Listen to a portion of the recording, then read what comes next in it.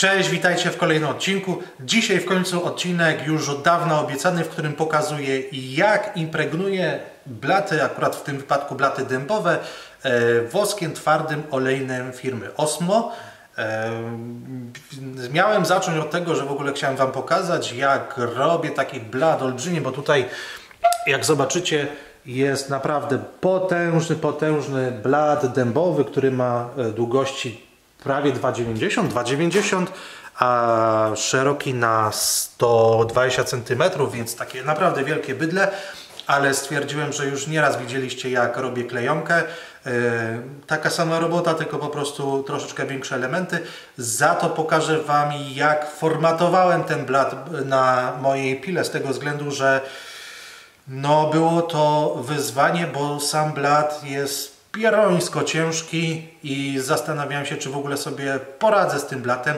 Nie poradziłem sobie, żeby go choćby nawet przenieść na piłę, bo był za ciężki. Nie poradziłem sobie, żeby go ściągnąć z tej piły. Na szczęście poradziłem, piła sobie bez problemu poradziła.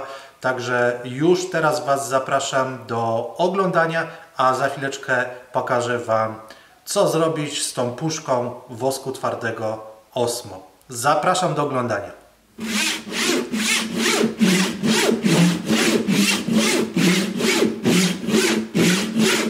Blat ma 200, no w tym momencie 290 na, na 120, czy na, no jakoś tak. A, zobaczymy, bo już nie pamiętam jakie to wyszło. Mamy na, no na 120. I o, o ile jeszcze cięcie takie wzdłuż myślę, że będzie, znaczy bez żadnego problemu. O tyle strasznie jestem ciekawy, jak będzie to wyglądało i jak go będę chciał ciąć w poprzek. No, powiem szczerze, nigdy jeszcze nie ciąłem takiego olbrzymiego blatu. Będzie to na pewno ciekawe doświadczenie.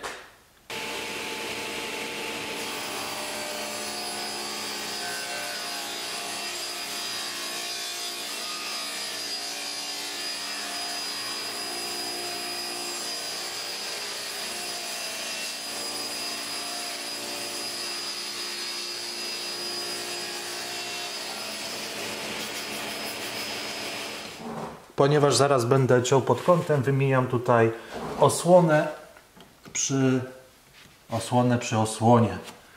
Można powiedzieć. Nie wiem jak to się fachowo nazywa. W każdym razie gdybym pochylił teraz agregat, no to automatycznie bym uszkodził e, tą osłonę. Tutaj jest taka specjalna, która jest właśnie do cięcia pod kątem. Wystarczy ją kliknąć i już można pracować.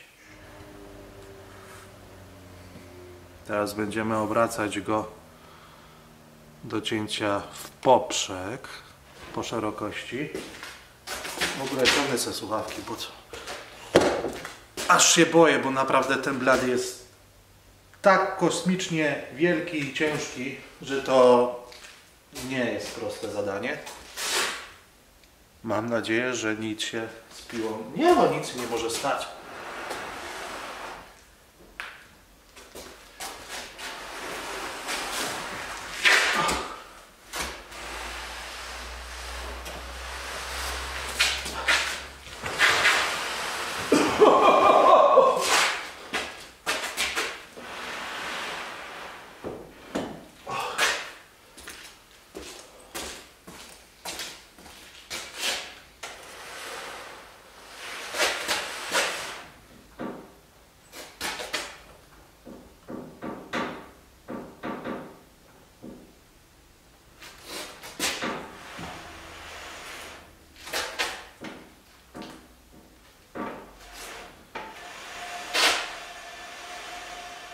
No, nie powiem, było to wyzwanie.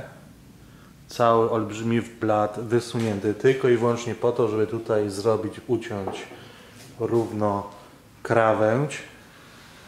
I oczywiście wszystko chodzi jedną ręką. Wiadomo, prawdopodobnie tutaj trzeba będzie docisnąć go w tym miejscu, bo no, waga jest przeogromna tego blatu i, i, i jednakowo, że on sprężynuje. No tak, tak to musi być. do takich prac to najlepiej byłoby to robić w dwie osoby, żeby druga osoba po prostu stała w tym miejscu i go delikatnie tutaj y, podpierała, a, a pierwsza by tutaj um, patrzyła się jak to jest cięte i tutaj panowała nad tą częścią. No ale cóż, nawet samemu idzie w miarę jakoś to sobie poradzić, nawet z takim dużym blatem.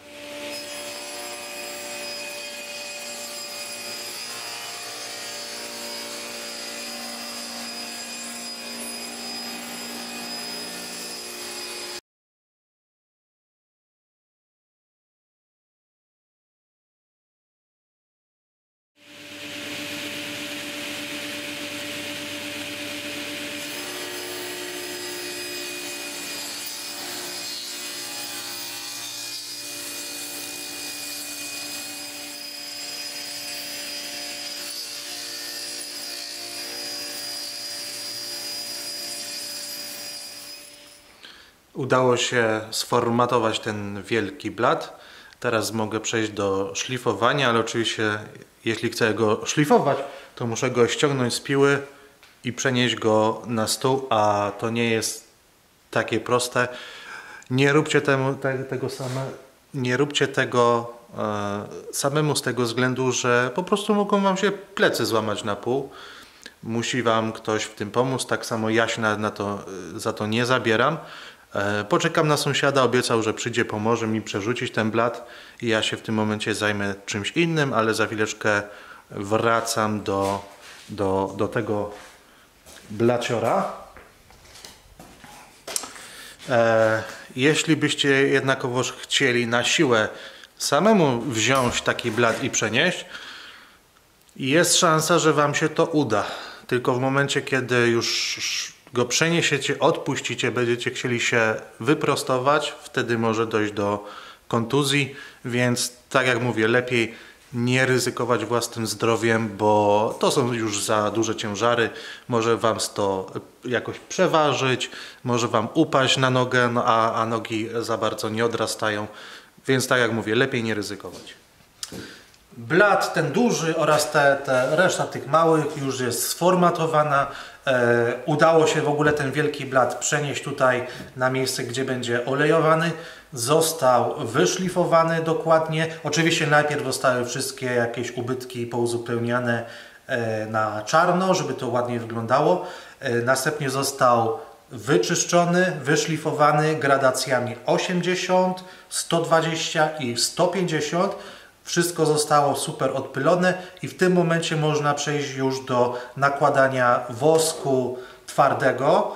E, I od razu muszę powiedzieć, bo chyba nigdy o tym nie mówiłem, dlaczego w ogóle stosuję taki, a nie inny. E, stosuję go tylko i wyłącznie dlatego, że e, od zawsze go stosuję. Do tej pory mam małe doświadczenie z innymi firmami, a po prostu ten produkt znam, jestem z niego zadowolony, jakość jest bardzo zadowalająca, e, nigdy nie miałem na, nie, na to reklamacji i ładnie wybarwia, e, łatwo się nakłada, e, ma tylko jedną, jedyną wadę, że jest pieruńsko drogi i z puszki na puszkę każda kolejna puszka jest naprawdę coraz droższa, więc prawdopodobnie już w niedługim czasie będę szukał innych rozwiązań na woskowanie blatów. Wiem, że w tym momencie są też metody e, pokrywania blatów woskiem twardym oraz e, utwardzania je za pomocą światła. Może się okazać, że pójdę w tym kierunku, jeszcze zważając na to, że mam ograniczone miejsce u siebie w pracowni, nie mam osobnego miejsca do e, impregnowania takich blatów, więc rozwiązanie, gdzie mogę pokryć blat woskiem twardym, następnie utwardzić, i nakładać już następną warstwę jest dla mnie rewelacyjne, więc możliwe, że pójdę w tym kierunku, ale póki co, tak jak mówię, wosk twardy firmy Osmo, e, zabieramy się za impregnację mojego blatu. E, tak jak mówiłem, blat został wyszlifowany, został odpylony i tak już może być e, impregnowany. Nie stosuję żadnych gruntów, żadnych podkładów. Na surowne drewno bezpośrednio nakładam wosk twardy olejny. Robię to po prostu najprościej za pomocą pędzla. Jeśli macie mały jakiś blacik, no to możecie mieć byle jaki pędzelek. Jeśli macie dużo dużych blatów, to polecam porządny, taki dość gruby pędzel. Wtedy to nakładanie idzie naprawdę łatwo. Możecie również stosować wałek, jakiś taki z krótkim włosiem. Ja raczej tego nie stosuję. Uważam, że pierwsza warstwa będzie lepsza, jak po prostu ten wosk będzie wtarty w samą powierzchnię blatu. Puszkę przed przed otwarciem należy dobrze wstrząsnąć. Ona już była u mnie akurat otwierana, więc nie muszę tego robić. Zawsze warto jednakowoż wziąć jakiś patyczek i dokładnie go zamieszać, bo zdarza się, znaczy zdarza się, zawsze jest tak, że jednakowoż on się jak on gdzieś tam stoi na półce w sklepie, on się może nie tyle rozwarstwia, co część jakby jego składników opada na dno, rozpuszczalnik idzie do góry, także to jest masa nie, nie taka jednorodna. Należy to dobrze rozmieszać przed stosowaniem. I tak przygotowany wosk można już bezpośrednio nakładać na blat, co Wam teraz pokażę jak to robię. Wosk w puszce wygląda tak, jest on już wymieszany. Można wziąć sobie pędzelek. Ten pędzel akurat jest całkowicie nówka, więc możliwe, że jakieś włosie będzie z niego wypadało, nawet na pewno. Oczywiście warto gdzieś tam go przetrzeć, żeby to włosie, przynajmniej to luźne wypadło i już można przechodzić do samego nakładania wosku. Jest to naprawdę banalnie proste. Nakładamy wosk w dwóch warstwach. Pierwsza warstwa Przynajmniej ja robię tak, że robię ją troszeczkę grubszą, powiedzmy taką bardziej obfitą. Druga warstwa będzie dużo cieńsza, ale to już następnego dnia. Ale żeby nie przedłużać, po prostu nakładamy troszeczkę wosku na końcówkę pędzla i powolutku, powolutku go wcieramy. Nie jest to jakaś naprawdę bardzo cienka warstwa, tylko taka no tak jak mówię, dość, dość obfita. Mm, nie zostawiamy znowu jakiegoś dużego nadmiaru, nie zostawiamy jakichś mokrych plam. Nie spieszymy się też, tutaj mm, on nam tak szybko nie wyschnie, więc możemy to robić naprawdę bardzo, bardzo swobodnie, nie stresując się już na koniec dnia. Można sobie wziąć i ten wosk nakładać.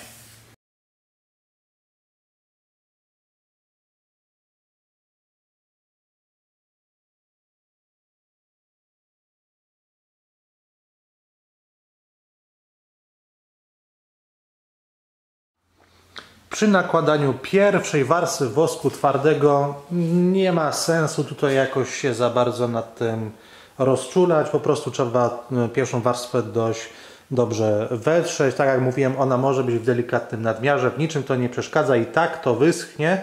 Tutaj e, istotnym parametrem jest e, temperatura, w jakiej to nakładacie. Ważne, żeby to nie była za niska, u mnie w tym momencie nie, no jest jakieś 19 stopni, więc jest to ok. Wiem, że producent zaleca kilka cienkich warstw, ale ja wiem z doświadczenia, że pierwsza warstwa powinna być troszeczkę grubsza, żeby jednak ten materiał trochę wpił tego oleju, to znaczy wosku twardego oczywiście. Mm, jak widać, a widać na pewno pięknie wybarwia w szczególności te czarne sęki, no, no rewelacyjnie to wygląda. E, I po pierwszym woskowaniu pamiętajcie o tym, żeby e, umyć narzędzia, z których korzystacie. Oczywiście możecie kupić dedykowany czyścik do e, rozpuszczalnik do wosku twardego Osmo, ale oczywiście to jest takie drogie, że ja tego w życiu nie kupiłem. Kupujecie po prostu benzynę ekstrakcyjną i 5 litrów benzyny można kupić za troszeczkę ponad 20 zł. E, kubeczek, wkładacie pędzel do środka, zalewacie to benzyną i macie pewność, że narzędzie Wam będzie dość długo, nawet bardzo długo służyło, jeśli oczywiście e, nie zostawicie tego na dwa miesiące. to wtedy nie będzie żadnego problemu. Tak jak mówię, benzyna ekstrakcyjna, w momencie kiedy kupujecie wosk, kupcie sobie od razu benzynę ekstrakcyjną. Nie ma sensu kupowania tych dedykowanych od osmo, bo są po prostu pieruńsko drogie. E, I tak zostawione blaty zostawiam do wyschnięcia, czyli zostawiam do jutra, bo dzisiaj już jest dość późna godzina. E, one przez noc po prostu ta warstwa, warstwa stwardnieje. Będzie można przejść do kolejnego etapu, czyli do szlifowania międzywarstwowego, e, a później do nakładania kolejnej warstwy. Mamy kolejny dzień od ostatniego, od pierwszego nakładania warstwy wosku twardego olejnego. Minęło około 20 godzin. Oczywiście e, ta powierzchnia była już sucha dużo wcześniej, ale e, robię to na wieczór, żeby po prostu już później tutaj nie chodzić po, po, po stolarni, e, żeby po prostu nie unosić jakichś tam pyłów, brudów, żeby to nie siadało na tych blatach, dlatego robię takie olejowanie dopiero zaraz przed moim wyjściem z, z pracy. I teraz tak, można przejść już do kolejnej warstwy E, nakładania wosku twardego. Zanim jednak to zrobicie, należy przeszlifować blaty i ja robię to na dwa sposoby. Albo stosuję do tego takie gąbki bardzo takie mięciutkie, 320. E, Mam nadzieję, że to będzie widać. Albo po prostu e, papierek na krążku również 320. I jeśli zdecyduje się na stosowanie e, tego krążka, no to oczywiście robię to na e, wolnych obrotach, bo tutaj to nie chodzi o to, żebyście po prostu to szlifowali, prawda, jechali, żeby to zczyścić, tylko po prostu delikatnie, delikatnie przeszlifować, więc tak jak mówię, małe obroty i I to jest praktycznie tyle, po prostu tak, tylko i wyłącznie delikatnie trzeba zjechać te blaciki, e, przeszlifować. Oczywiście później odpylić dokładnie, bo to jest ważne, bo będziemy za chwilę nakładać drugą warstwę, czyli już ostatnią, więc e, jeśli tutaj coś zepsujecie, no to trzeba będzie to jeszcze raz poprawiać, a tego chcielibyśmy uniknąć, bo to jest znowu kolejny dzień. Jeśli wszystko dobrze zrobicie, to całość impregnacji e, zajmuje no, e, po prostu te dwa dni, czyli dwie warstwy i to jest wszystko. I teraz tak, o ile pierwsza warstwa, tak jak mówiłem, ona jest dość obfita, przynajmniej ja ją kładę taką e, bardziej obfitą niż e, zaleca producent, o tyle druga warstwa już jest cienka i tutaj należy uważać, żeby ona była wcierana w jednym kierunku, w szczególności jeśli właśnie nakładacie pędzlem, no to nakładamy w jednym kierunku, wzdłuż włókien. Mm, jeśli na przykład położę jakiś fragment, to bardzo często jeszcze po prostu cały blat przejeżdżam w całości e, od początku, czyli załóżmy od lewej do prawej strony i jednym pociągnięciem pędzla, tak żeby po prostu nie było żadnych tam załamań na tej, e, na tej warstwie. I w momencie, kiedy taka warstwa wosku twardego e, wystygnie, no to będziemy mieć idealną taflę, idealne lustro. Nie trzeba będzie nic poprawiać. E, jeszcze wracając do e, tego, co mówiłem Wam wczoraj, znaczy kilka sekund temu, o temperaturze nakładania. Jeśli temperaturę nakładania będziecie mieć zbyt niską, może się okazać, że po prostu ta warstwa będzie schła i schła i schła i Wam to nie wyschnie nawet i za dwa dni. Mm, jeśli na przykład y, powiedzmy do dwóch dni Wam wyschnie jest ok, ale jeśli ten proces schnięcia miałby się jeszcze bardziej wydłużyć, to zauważyłem, że po prostu ten wosk praktycznie nigdy do końca nie wysyka, zawsze on jest jakiś tam w, jakiś, w jakimś stopniu lepki, a nawet jak wyschnie, no to jest taki, mm, rysuje się, to nie jest po prostu dobrze e, nałożona warstwa i wtedy trzeba to od nowa zeszlifować i nakładać wszystko od nowa. Więc tutaj akurat wymóg e, temperatury jest dość istotny. E, oczywiście mm, ja tylko pilnuję, żeby ta temperatura nie była za niska, ale tam to nie jest tak, że o 17 stopni to dopiero kłada, jak jest 16 to już nie, bo to jest za zimno. To też nie o to chodzi. To, oprócz temperatury jest jeszcze jeden parametr równie istotny. Chodzi o ruch powietrza wokół tego materiału, który woskujecie. I teraz już Wam tłumaczę. Jeśli chodzi o blaty, tak jak tutaj są porozstawiane, nie ma żadnego problemu.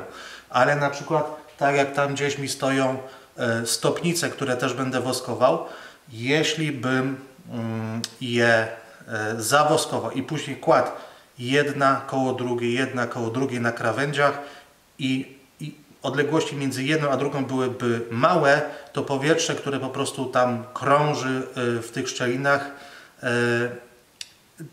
byłyby za małe te przerwy, to też ta warstwa nie będzie chciała stygnąć, więc jeśli na przykład robicie właśnie takie elementy jak stopnice i kładziecie je po prostu na jednej krawędzi, to też musicie zadbać, żeby odległości między jednym a drugim e, elementem, który malujecie, muszą być jakieś tam powiedzmy około 15-20 cm. Wtedy macie gwarancję, że to fajnie będzie Wam stygło.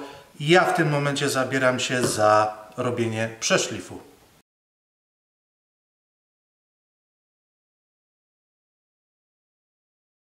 Przeszlif na takim blacie robimy w takim celu, aby pierwsza sprawa usunąć ewentualne jakieś niedoskonałości, które jeszcze powstały po e, nałożeniu pierwszej warstwy.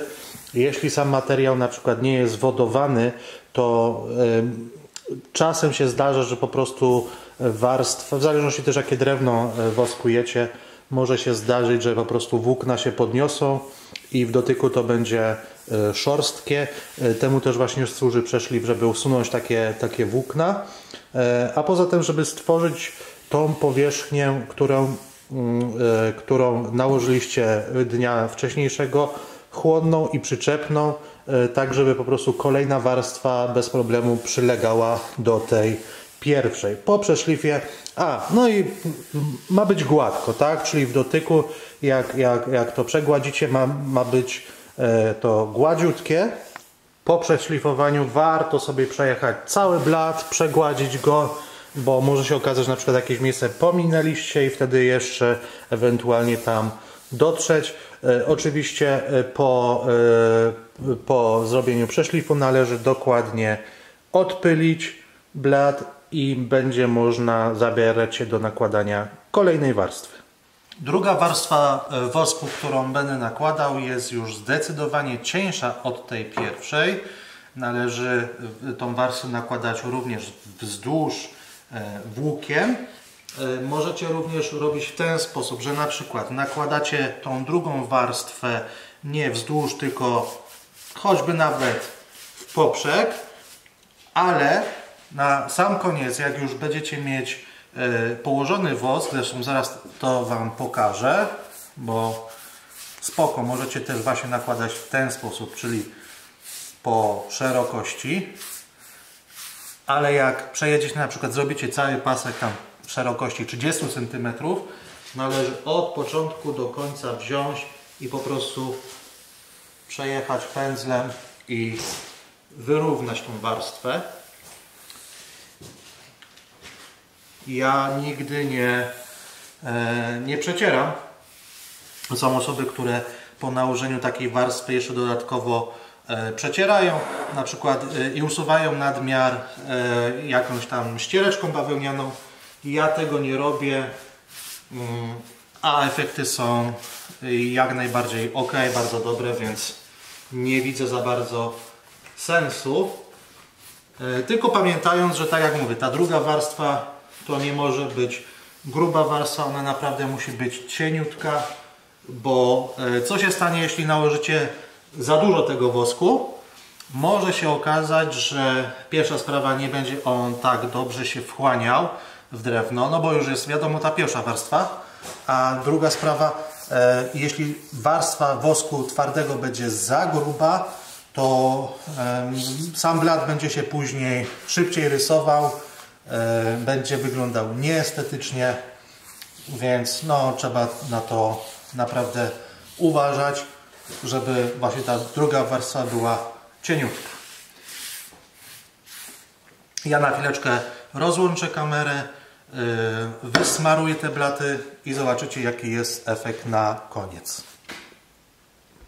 I tutaj jeszcze na małym blacie, który już jest zawoskowany, można, mogę jeszcze Wam pokazać, co robię na sam koniec.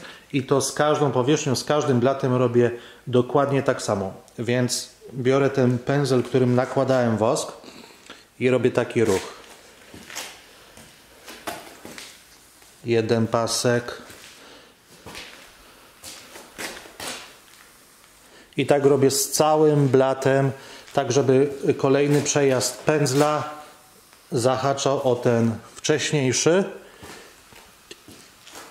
I to powoduje, że po prostu cała jakby warstwa tego e, wosku, który już jest nałożony jeszcze się dodatkowo wyrównuje. I daje mi to gwarancję, że jak wosk już sobie na następny dzień zwiąże, to nie będzie tutaj żadnych, e, żadnych niedoskonałości, żadnych zacieków i na ogół jest tak, że po prostu ten wosk bardzo ładnie się rozlewa i robi równą, gładką powierzchnię.